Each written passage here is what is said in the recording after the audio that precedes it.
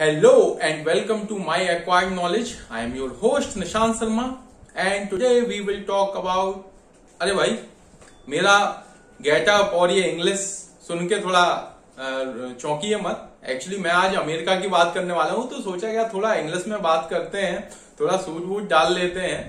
तो आ, अमेरिकी चुनाव की जो काउंटिंग है वो अभी भी चल रही है।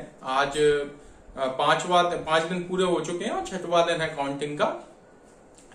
लेकिन स्थिति काफ़ी क्लियर है जो बाइडेन नेक्स्ट प्रेसिडेंट होंगे। लेकिन आज मैं जो बात कर रहा हूँ जो कुछ इंटरेस्टिंग फैक्ट जो रोचक तथ्य जिन्हें अपन कहते हैं उनके बारे में। पहला रोचक तथ्य ये है कि जो बाइडन जब 20 जनवरी 2021 को शपथ लेंगे तो वो अमेरिकी इतिहास के सबसे वृद्ध प्रेसिडेंट होंगे। इससे पहले जब 2016 में डोनाल्ड ट्रंप राष्ट्रपति बने थे तो वो सबसे वृद्ध थे। दू, दूसरा तथ्य ये है कि 28 साल बाद ऐसा हुआ कि कोई एग्जिस्टिंग प्रेसिडेंट अपना चुनाव हार गया। इससे पहले 1992 में जॉर्ज बुश सीनियर हार गए थे और उन्हें बिल क्लिंटन ने हराया था। और रोचक बात यह है कि जॉर्ज बुश सीनियर भी रिपब्लिकन थे और डोनाल्ड ट्रंप भी रिपब्लिकन है। पहली बार ऐसा हुआ है कि 10 करोड़ लोगों ने या तो मतदान, जो तीन तारीख को मतदान था, उससे पहले अपना वोट डाल दिया। ये हुआ कि मतलब कोविड 19 का दौर था तो ऐसा ऑप्शन मिला था कि पहले भी वोटिंग कर सकते हो या अपना मत डाक द्वारा भेज सकते हो। ये भी एक रिकॉर्ड है। जो वोटिंग का परसेंट है, वो पिछले 100 साल में सबसे ज़्यादा है।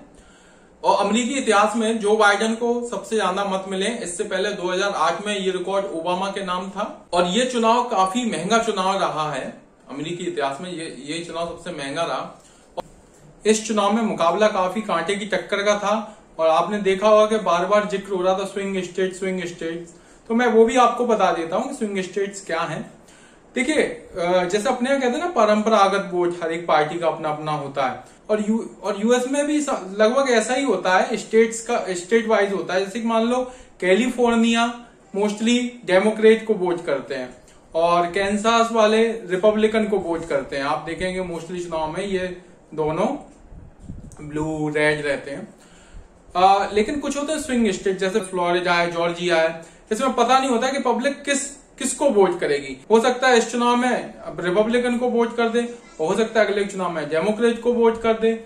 तो तो क्या होता है इन स्टेट्स को कहते हैं स्विंग स्टेट और जो स्विंग स्टेट जीतता है वो अमेरिका का राष्ट्रपति बनता है। वैसे वहाँ पे एक और कहावत थी कि व्हाइट हाउस का रास्ता फ्लोरिडा होके होते हुए जाता है लेकिन इस बार ऐसा नहीं हुआ।